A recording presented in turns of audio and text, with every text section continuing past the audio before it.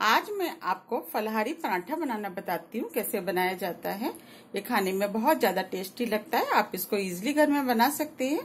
इसको मैं सिंगाड़े के आटे और आलू से बनाऊँगी। अब मैं आपको बताती हूँ, इसके लिए मुझे किसकी चीज़ों की ज़रूरत पड़ेगी। एक कप सिंगाड़े का आटा लिया है। ये इजिली हमें मार्केट में मिल जाता है। तीन मीडियम साइज़ की आलू, जिसे बॉईल करके छील लिया है। थोड़ा सा हरा धनिया, एक हरी मिर्च आधी छोटी चम्मच काली मिर्च।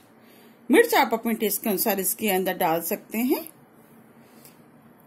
आधी छोटी चम्मच नमक। नमक भी आप अपने टेस्ट के अनुसार इसके अंदर डाल लें। अब मैं आपको बताती हूँ इसको बनाते कैसे।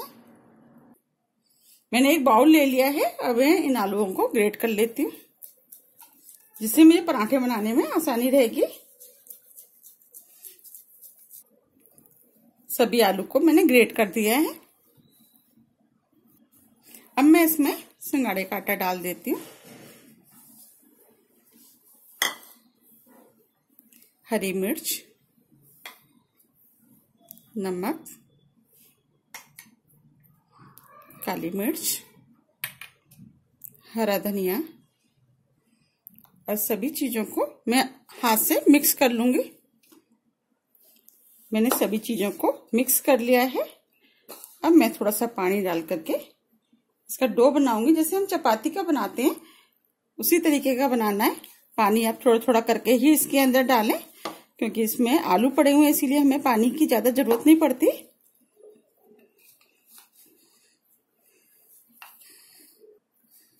ये मैंने डो बना लिया है, हमें इसी टाइप का डो चाहिए। मैं हाथ में थोड़ा सा ऑयल लगा करके डो को चिकना कर देती हूँ।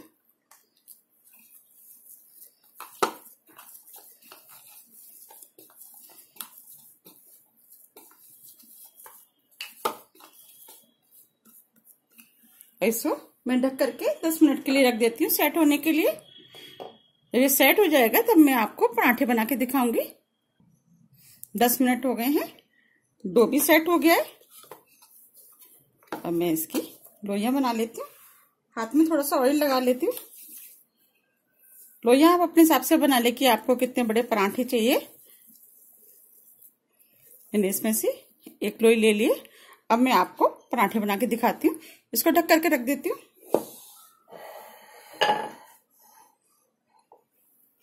ये मैंने सूखा आटा लिया है सिंगाड़े का। और इस लोई को इसमें लपेट देती हूँ।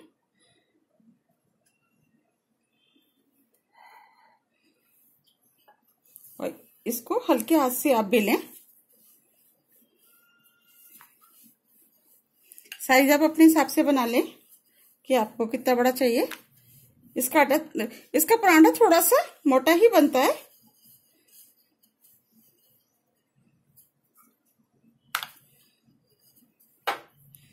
दिखाती हूँ आपको। देखिए, ये मैंने बना लिया है। अब मैं इसको इस पर रख देती हूँ। मैं आपको सेक के दिखाऊँगी। गैस पे मैंने तवा रख दिया है। तवा गरम हो गया है। अब मैं इसमें पराठा डाल देती हूँ। जब एक तरफ़ से सिक जाएगा, तब मैं इसको पलटूँगी। एक तरफ़ से सिक गया है, ऊपर से इसका कलर चेंज हो गया है। अब मैं दूसरी तरफ़ से भी इसी तरीके से सेक लूँगी। और गैस को मैंने मीडियम रखा है। दूसरी तरफ़ से भी पराठा सिक गया है। अब मैं इसमें ऑयल लगा देती हूँ। आप चाहें, घी में भी सेक सकते हैं और ऑयल कोई भी इस्तेमाल कर सकते हैं, जो भी आप खाना पसंद करते हैं। अब मैं इसको पलट देती हूँ। और हल्के हाथों से दबाते हुए इस पराठे को आप सेक दें। इस तरीके सेक लें, इस तरीके।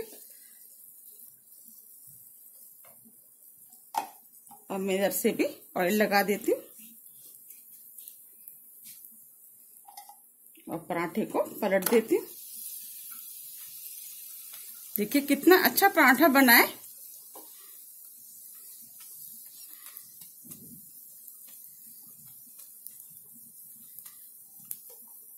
अब मैं इस पराठे को निकाल लेती हूँ।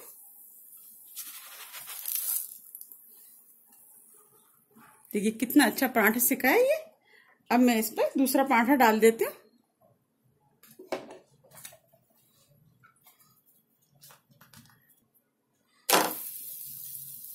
इसको भी वैसे सेक लूँगी, जैसे मैंने पहला सेका था। ये पराठा भी सीख गया है, अब मैं इस पराठे को भी निकाल लेती हूँ। देखिए, कितने अच्छे पराठे सीखे हैं।